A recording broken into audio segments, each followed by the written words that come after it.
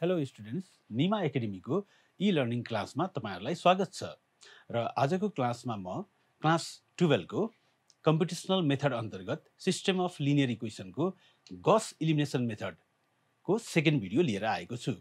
र पहिलो भिडियोमा तपाईँहरूले गस इलिमिनेसन मेथडको वर्किङ रुल र त्योसँग सम्बन्धित एक दुईवटा इक्जाम्पलहरू हामीले हेरेका थियौँ। भने आजको क्लासमा म त्यसलाई कन्टिन्यू गर्दैछु। त सुरु गरौँ है त अब। त सबसे पहिला हामी लिँदैछौँ।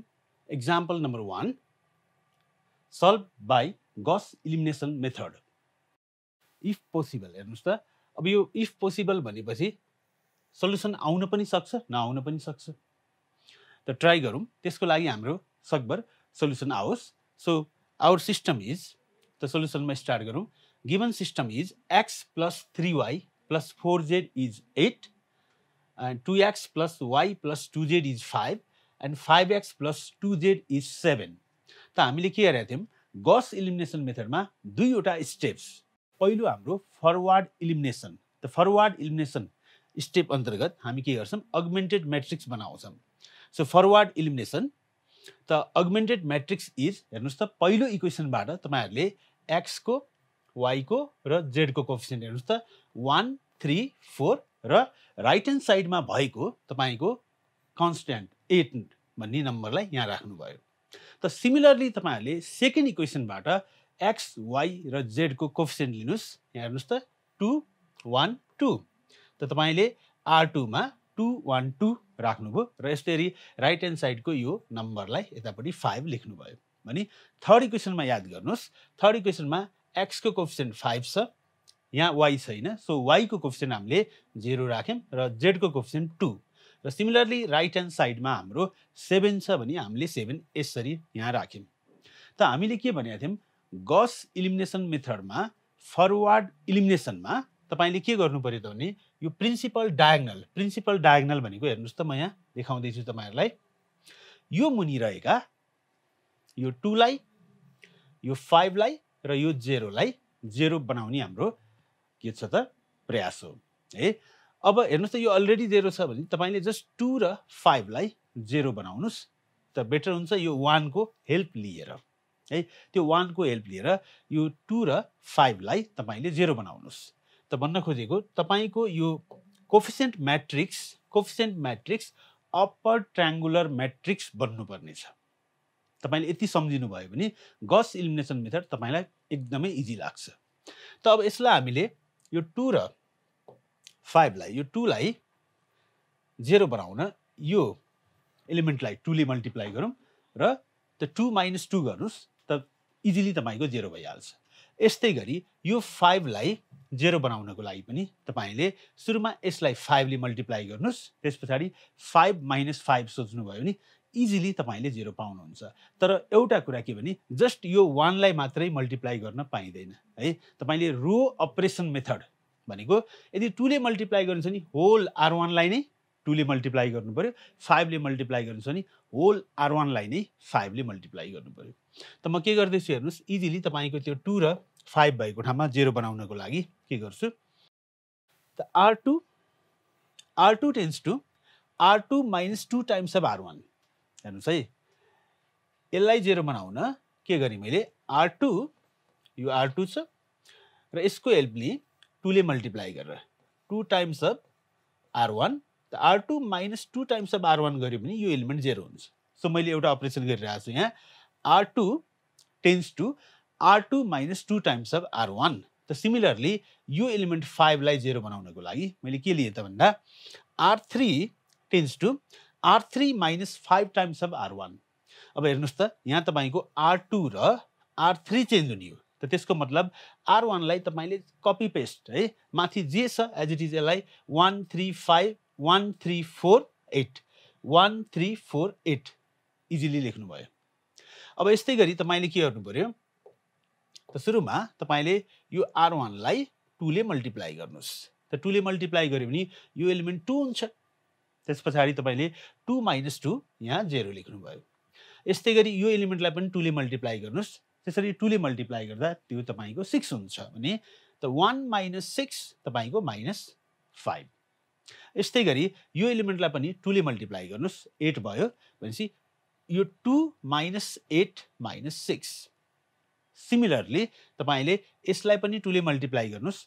एट इन्टु टू तपाईँको सिक्सटिन भयो भने फाइभ माइनस तपाईँको सिक्सटिन भनेको माइनस इलेभेन यस्तै गरी तपाईँले यहाँ के हेर्नुहोस् R three tends to R three minus five times of R वानको लागि के गर्नु पऱ्यो त तपाईँले अब आर वानलाई तपाईँले फाइभले मल्टिप्लाई गर्नुहोस्।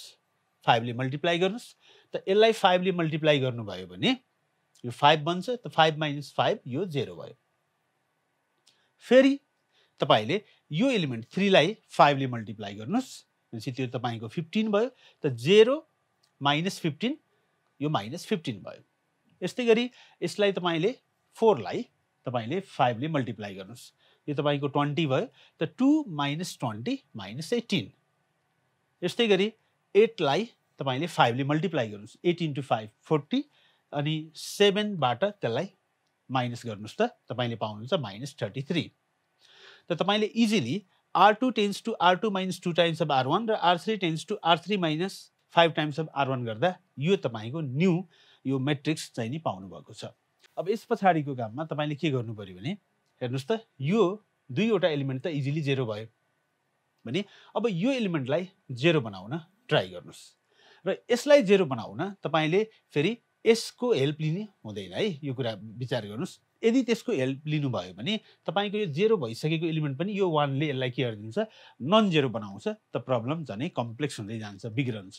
सो तपाईँले त्यो माइनस फिफ्टिनलाई यो माइनस फिफ्टिनलाई जेरो बनाउनको लागि यसको हेल्प लिनु होला जस्ट थ्रीले मल्टिप्लाई गर्नुहोस्। यो पनि माइनस फिफ्टिन हुन्छ। त्यसपछि दुइटाको डिफ्रेन्स लिनुहोस्। इजिली त्यो जेरो हुन्छ। भनेपछि मैले यहाँ के गरेको छु?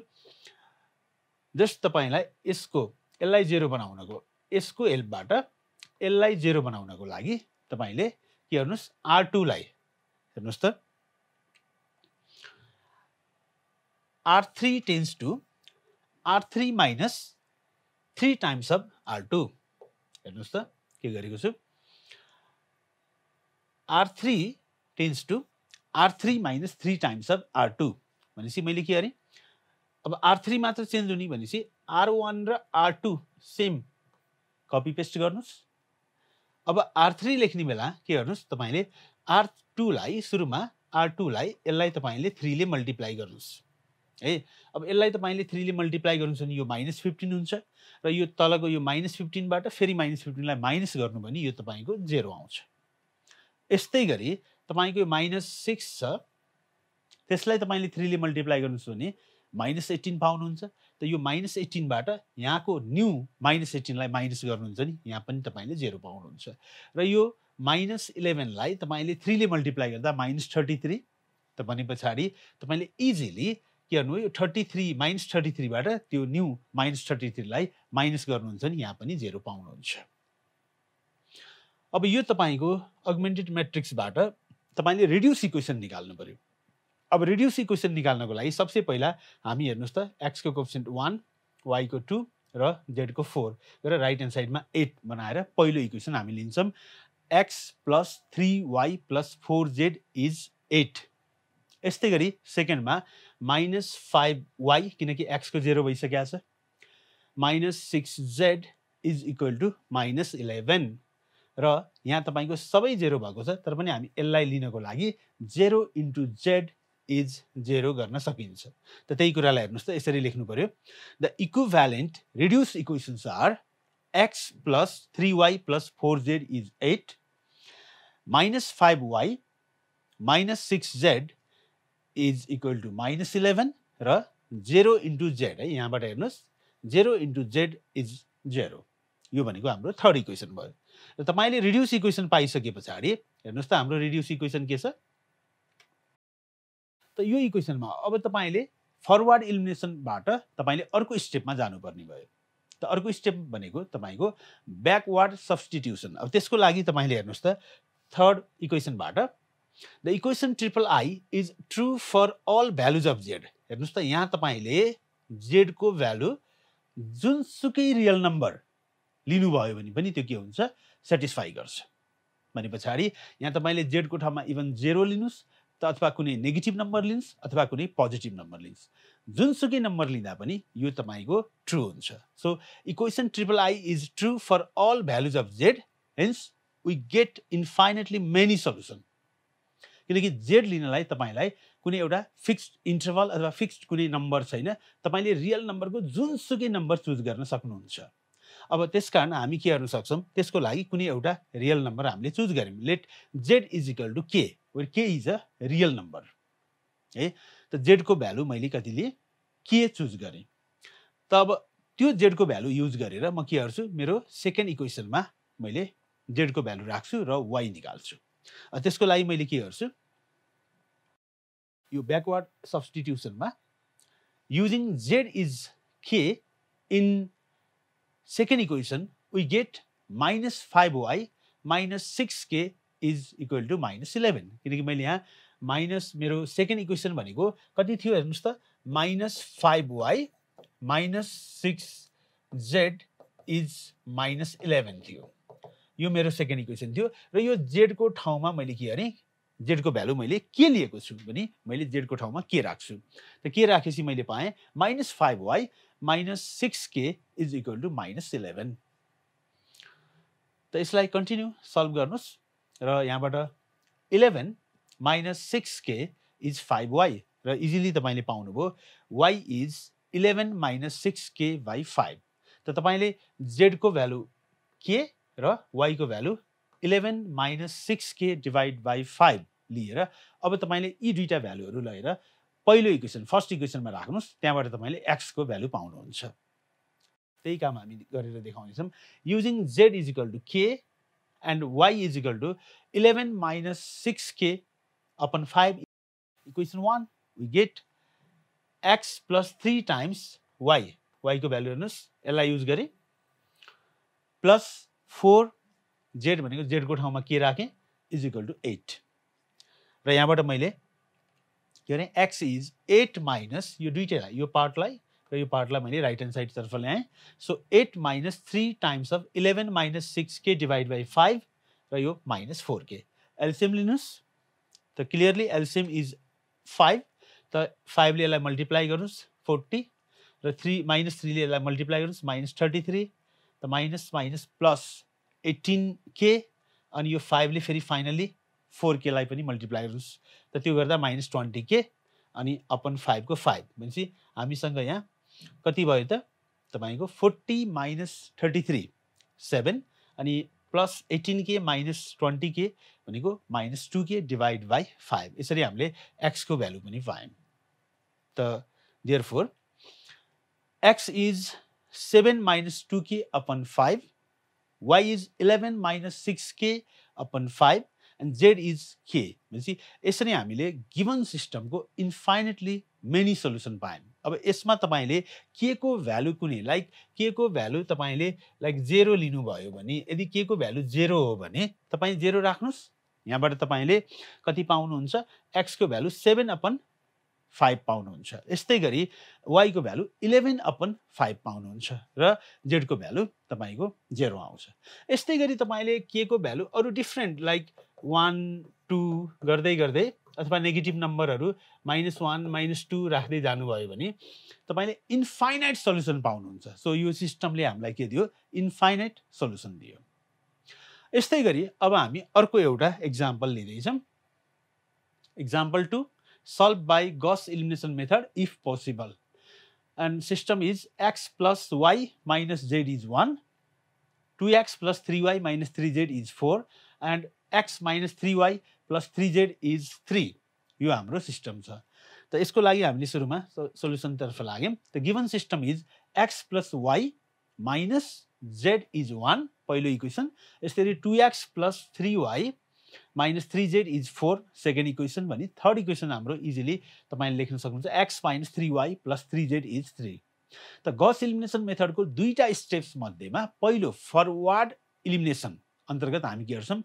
अगमेन्टेड म्याट्रिक्स लेख्ने काम गर्छौँ है। अब यसलाई लेख्दाखेरि इजिली तपाईँले लेख्न सक्नुहुन्छ।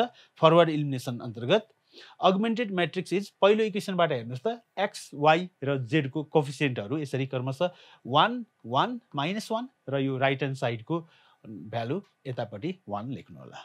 यस्तै गरी सेकेन्ड इक्वेसनबाट तपाईँले हेर्नुहोस् एक्सको कोप्सन टू वाईको थ्री र जेडको माइनस थ्री यहाँ टू थ्री माइनस थ्री राख्नुभयो र राइट ह्यान्ड साइडबाट तपाईँले यहाँ फोर राख्नुभयो।